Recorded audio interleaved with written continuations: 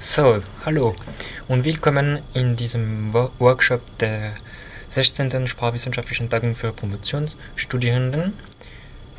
Jetzt kommt äh, dieses Workshop, das äh, Diskursschule kontrastiv, Grundzüge, Methoden, Perspektiven heißt. Und ich werde ähm, die erste äh, PowerPoint-Präsentation machen, nämlich die Einleitung. Also, was ist Diskurs und äh, wie kann man sprachwissenschaftlich Diskurs analysieren? Jetzt so besser.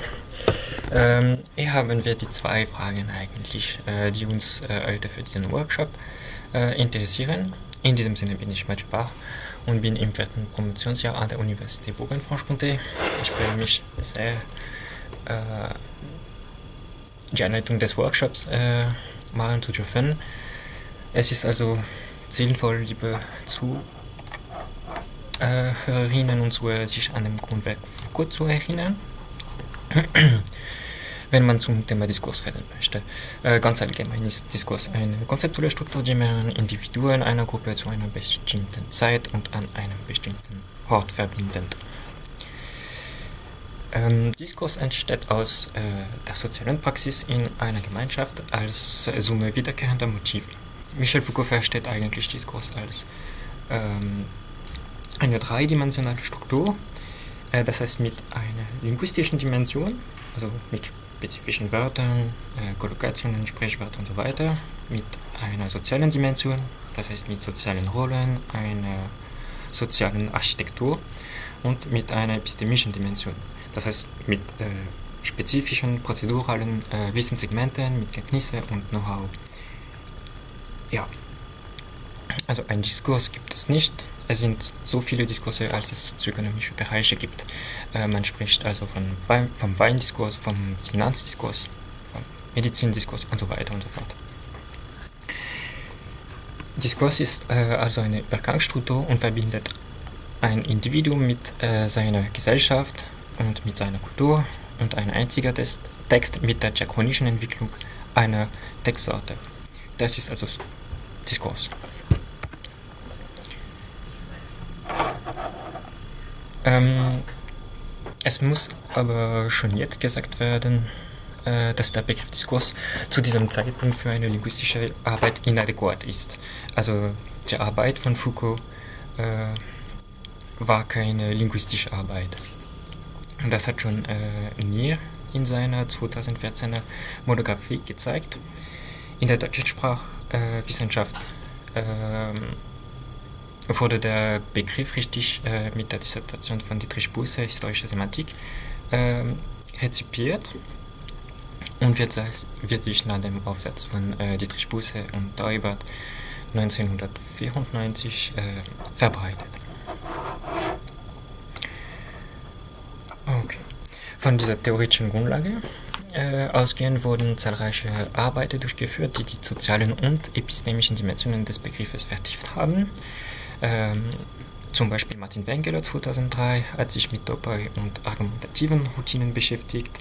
Ähm, Simon Wager 2019 hat diese Herangehensweise mit der Frame-Semantik weitergebracht.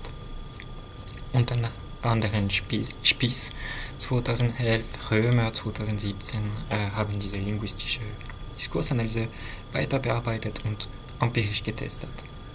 Im Großen und Ganzen bemerkt man aber, dass Diskursstudien sich eher mit politischen Diskursen äh, beschäftigt haben und sich noch heute damit äh, beschäftigen.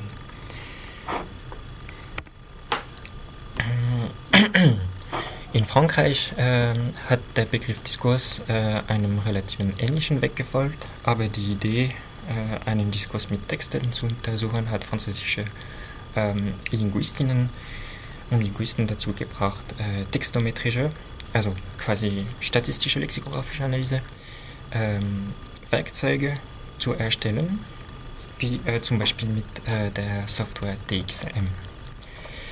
Ähm, in jüngerer Zeit hat äh, der Linguist Julien ähm, in seiner Dissertation, in, in seiner Abitur, ähm, Habilitationsschrift und in einem Buch eine pragmatsemantische, korpusbasierte Herangehensweise entwickelt, die ähm, wirklich in die Richtung der deutschsprachigen Diskursschule geht. Ähm, also der Haupt, Hauptunterschied äh, zwischen der französischen und der äh, germanistischen Diskursanalyse liegt ähm, im sozialen Endziel der Analyse. Französische Forscher sehen in der Diskursanalyse die Möglichkeit, in der Politik tätig zu sein, also in der Gesellschaft tätig zu sein. Ähm, und das heißt, die Diskursanalyse trägt per se, also als sich, eine gesellschaftliche Last. Ja, kommt man jetzt äh, wieder in Deutschland zurück, muss man die einflussreiche Düsseldorf-Schule äh, nennen. Also mit äh, Fahrgästen Georg Stetzel, äh, gestern Dietrich Busse und heutzutage Alexander Ziem, ähm, die von einer kulturhistorischen zu einer kognitiven Diskursschule geworden ist. Mhm. Also zentral bei Busse und Ziem äh, ist der Begriff des Wissensrahmen bzw. des Frame. Ähm, und ein Frame ist eine aus Begriffen zusammengesetzte Bedeutungsstruktur, die sich um ein Kernelement herum entfaltet.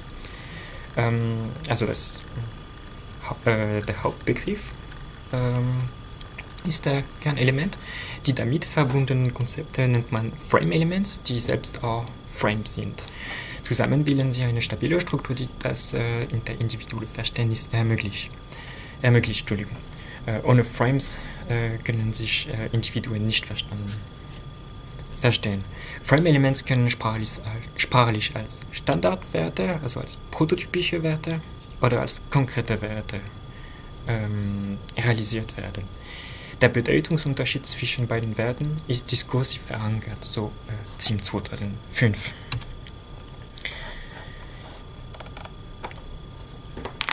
Nach äh, diesen inspirierenden Arbeiten und insbesondere nach, nach dem Werk von Busse und Team entwickelte ich eine sogenannte kognitive Diskursanalyse mit der Grundidee, dass die Kognition nach verschiedenen linguistischen, psychologischen und äh, neurowissenschaftlichen Werken ein multidimensionales Netzwerk mit zumindest einer taxonomischen Architektur ist, in dem man zwei Hauptnetzwerke identifizieren könnte, äh, nämlich ein FrameNet, also ein Netzwerk von Frames, wobei, wie gesagt, Frames äh, konzeptuelle, konzeptuelle Struktur, äh, Strukturen sind, die aus sozialen und epistemischen Wissenssegmenten zusammengestellt sind, und ein Konstruktikon, das heißt ein Netzwerk von Konstruktionen, wobei eine Konstruktion eine, auch eine konzeptuelle Struktur ist, die mit epistemischen und linguistischen Wissenssegmenten strukturiert ist. Ähm, der Übergang zwischen einem Frame und einer, Ge einer Konstruktion Entschuldigung, erfolgt mit der Anpassung von geteilten semantischen ähm, Argumenten und äh, also ein ähm, semantische äh, Argumente sind äh, oder wurden von äh, Peter van Polen 2008 äh, theorisiert.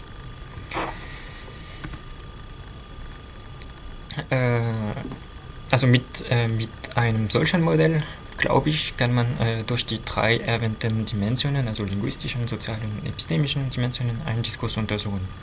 Als Beispiel äh, dieser kognitiven Wende und dieser, ähm, dieser, diesem kognitiven Modell kann man die folgende Werbung beschreiben. Äh, die Werbung für ein Bier äh, aus dem Zillertal, Tirol in Österreich. Äh, eher sieht man, dass äh, ein paar Elemente beziehen sich auf farblichen Elemente wie dem Schaum, ähm, auf erfahrungsbasierten Wissenssegmente wie dem Wasser und so weiter. Und das wären also Frames-Elemente für das, äh, für das Frame äh, Bier. Ähm, es gibt auch Konstruktionen, wie äh, zum Beispiel die äh, addiktive und sensorische Komponente Konstruktion, wie edel geheift, voll im Geschmack und äh, ausgezeichnet Zutaten. Man kann äh, eben sagen, dass diese Konstruktion Teil einer größeren äh, textuellen Konstruktion, die äh, selbst spezifische Frames aktiviert. Gut. Ähm, also die Konstruktionen selbst rufen auch diskursive Komponenten äh, in Frames auf. Jetzt komme ich zu den Beiträgen dieses Workshops, weil, ja, also in diesem sehr komplexen, sehr reichen, sehr vielfältigen Zusammenhang äh, haben unsere drei Referenten äh, drei interessante Herangehensweise gewählt. Ähm, und bevor wir äh, mehr von äh, ihren tollen, tollen Ideen hören, freut es mich ganz besonders, sie vor vorstellen zu dürfen.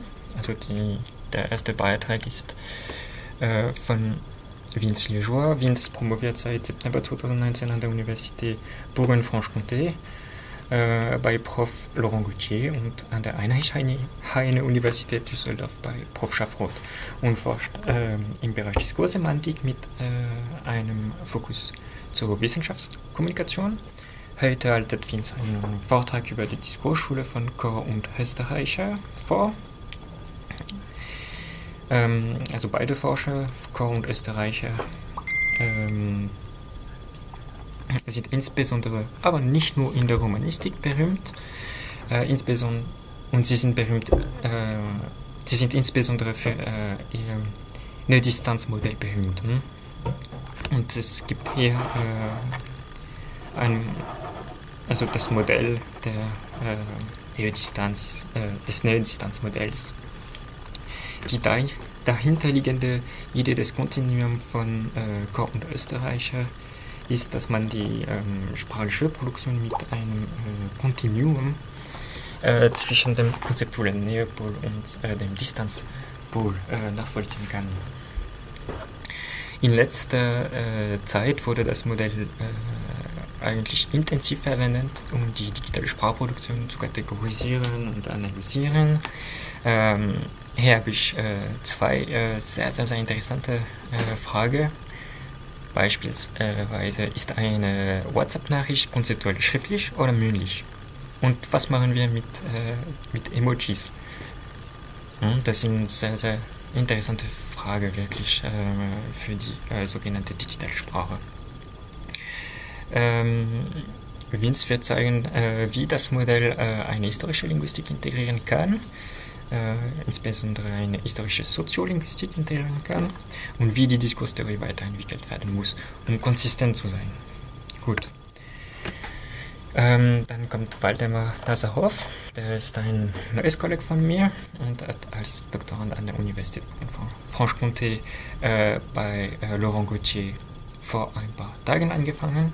Sein Vortrag handelt sich äh, um die Kontinuität zwischen Textlinguistik und Diskurslinguistik. Das ist eigentlich sehr sinnvoll, äh, diese epistemologische Entwicklung, äh, also in der germanistischen Diskurslinguistik in, ins Licht zu bringen.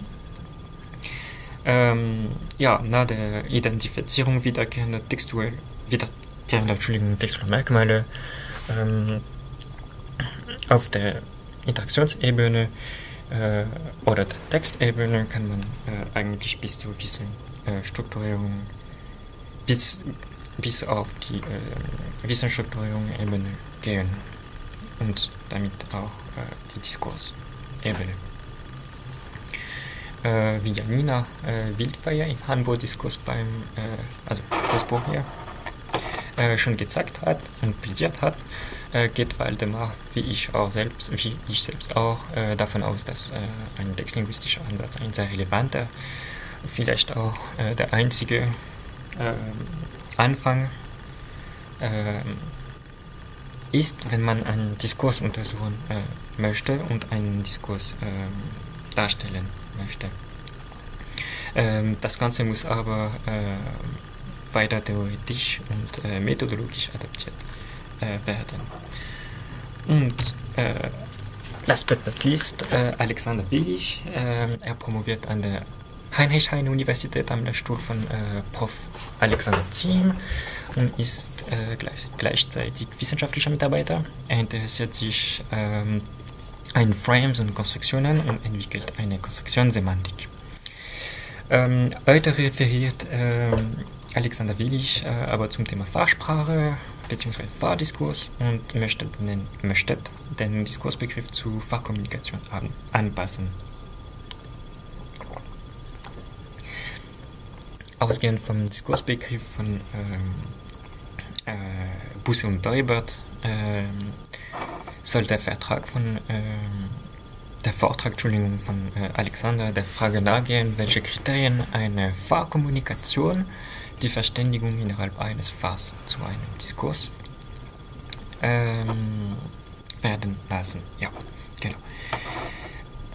Und jetzt äh, sind wir mit der Einleitung fertig und ich freue mich äh, auf Wiens Vertrag.